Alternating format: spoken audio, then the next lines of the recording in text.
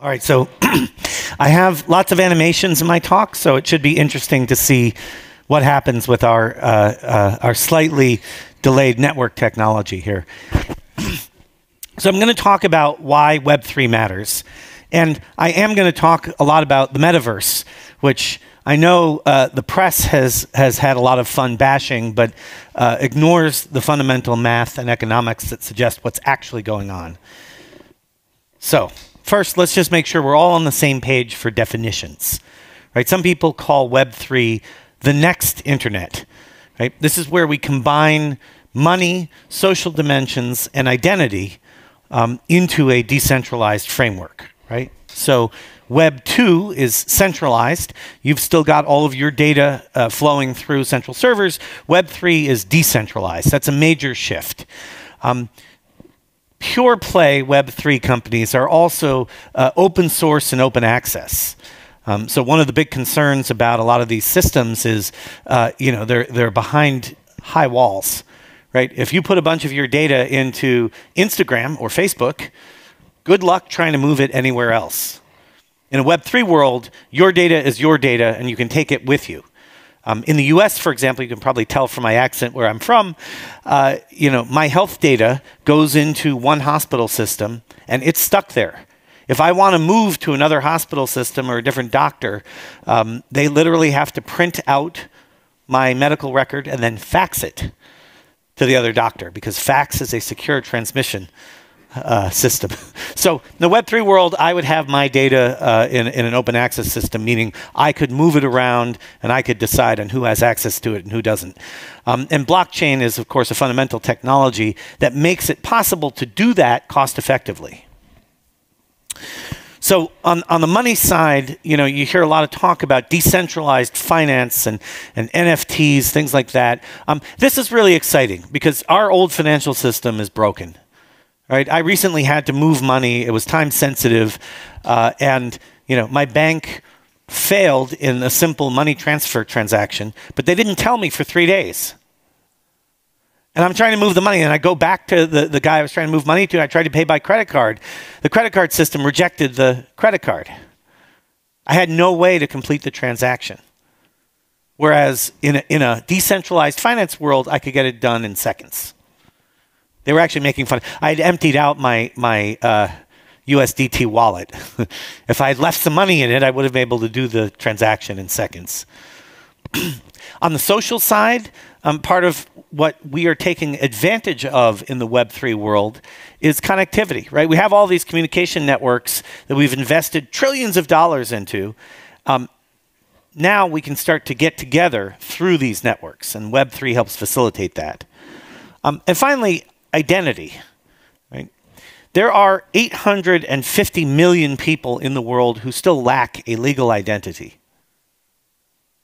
The old system of taking a photograph and using paper documents is too expensive to effectively get them into the identity system. If you don't have an identity, you can't open a bank account, you can't rent a flat, you can't travel. There are a host of things you can't do without a legal identity. Web3 allows you to create a digital identity that is privacy preserving. So now I can still conduct business without having to reveal everything about myself. It's federated, which helps it be more resilient, um, and it's highly secure. Right? There have been a lot of uh, uh, cases of identity theft from these centralized database systems. Um, I don't know if I have notifications turned on for my security, so my, my passwords periodically even on supposedly secure websites, get somehow appear on the dark web on a list. And I get a notification saying, oh, you need to change your password. We can better secure our identities and our data using Web3 technology. Which brings me to the metaverse, which I find to be one of the most fun and exciting aspects of Web3. Um, to quote Samuel Taylor Coleridge, it was a miracle of rare device, a sunny pleasure dome with caves of ice. In the metaverse, we can kind of create whole new worlds to uh, uh, engage with, right? So the metaverse is not meta. This is a common misconception.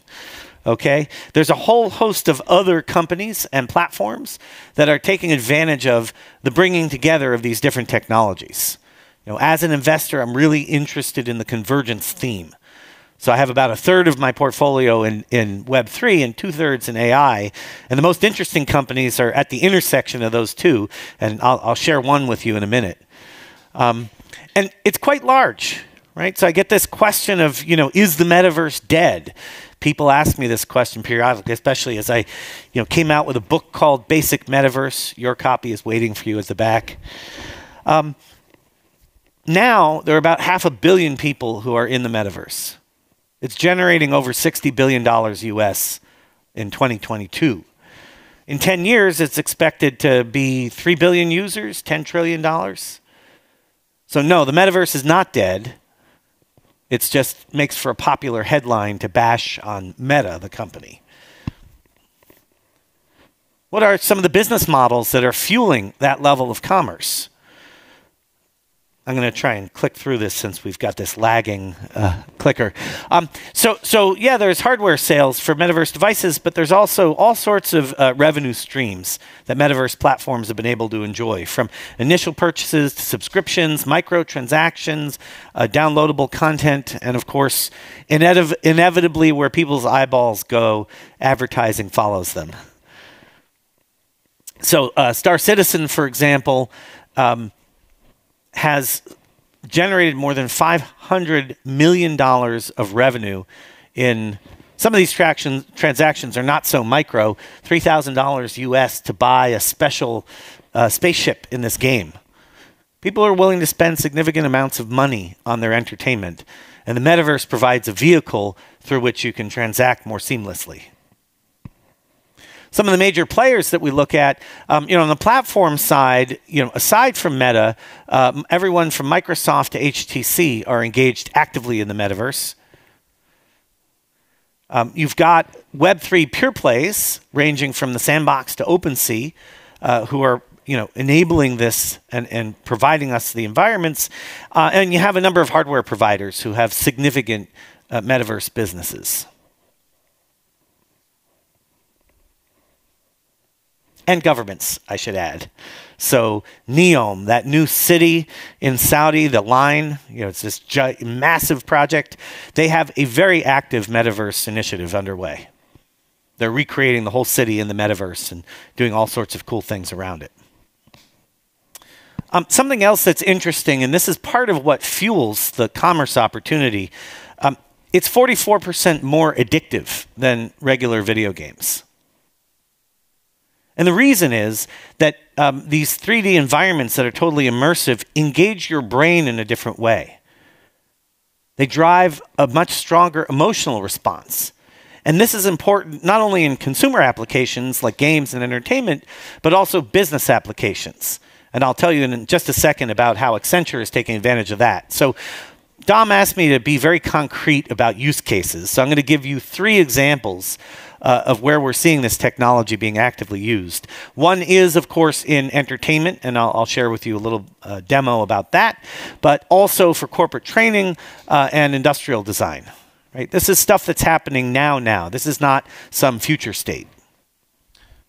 So, uh, one of my portfolio companies, Kaleido, has a game called Particle Ink. Um, Kaleido just did their uh, uh, original NFT mint uh, and uh, they sold out in under two hours uh, for you know like little characters and and you know accoutrement that you can buy for your game character. Um, I unfortunately was not able to participate in this because J.P. Morgan Chase Bank would not let me transfer money to my Kraken account. So, what's interesting about what they're doing is they're bringing together augmented reality. So, imagine this is your phone display um, with artificial intelligence to be able to create really dynamic experiences. So what's happening here is that's a, a real candle and a real lighter and fake flame. And what you're doing is you're helping that game character melt the ice that is trapping that other character. So the system is able to detect what's happening in the physical environment around you, and the characters react to it. So you see the ice starts to melt, and then the other guy gets free.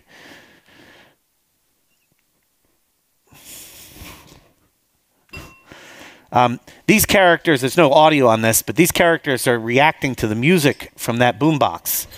So these guys dance in, in syncopation with the music. Uh, this character you can see is trying to reach a balloon that's sort of out of reach. So he tells you to move a physical object so he can climb up and grab the balloon. And this one is, it's a cool little trick, right? You're holding one of the characters on your hand and you're letting her sort of do a flip. The technology behind tracking a moving object and having it engaged that way is actually very difficult uh, uh, software to pull off. Um, so when I was doing my due diligence on this, they showed me a demo of a boat on moving water. It was an augmented reality boat on real moving water when I showed my, my engineering uh, diligence resource this, she said to me, that is extremely difficult to do, to track and keep it looking natural. Uh, and so, so that's sort of what happens when you converge these technologies of bringing together LiDAR, uh, AI, and augmented reality. But you can imagine how addictive this game is going to be. This is like Pokemon Go with brains. Uh, so, so this is going to be launching uh, in 24. Okay, um, but you know, enough fun and games. Let's talk about work. Web3 metaverse has a tremendous role to play in the future of work. So Accenture faced an interesting problem during COVID, right? Because they're constantly hiring. They're hiring like tens of thousands of people a year, and they have to train them.